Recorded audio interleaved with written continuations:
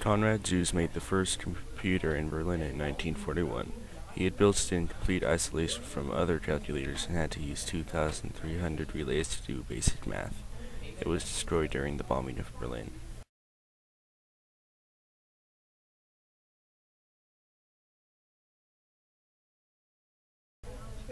John Atanasoff and Cliff Berry designed and built the Atanasoff-Berry computer in 1942, and it subsequently caused a patent dispute over who had rights to basic computer ideas.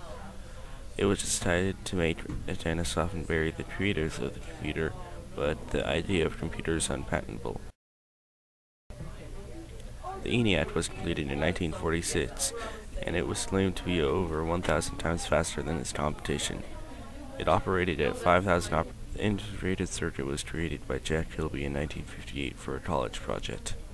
He had wanted to prove that resistors and capacitors could exist on the same piece of semiconductor.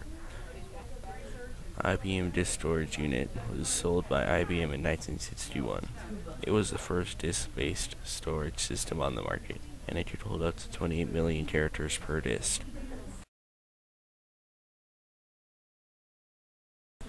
Quite a long time after, the first email sent is sent in 1971. It was sent by Ray Tomlinson and he claimed it contained gibberish. The Apple I released in 1976 after being designed by Steve Wozniak. He managed to sell over 200 of the computers, and he announced a sequel soon after.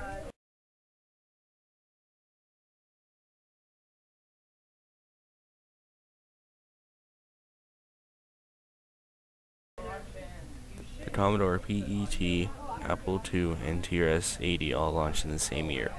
They were released over the course of 1977 after being designed by Commodore, Apple, and Radio Shack.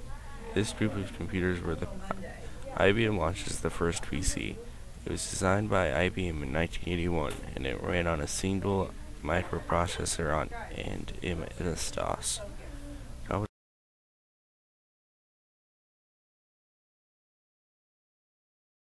Commodore 64 started selling in 1982 with great success.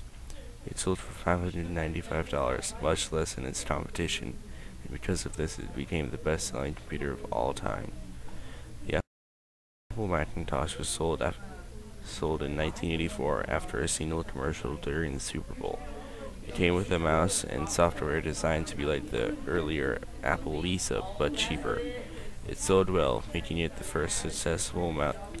The modern Internet was formed after being an intended upgrade to the ARPANET.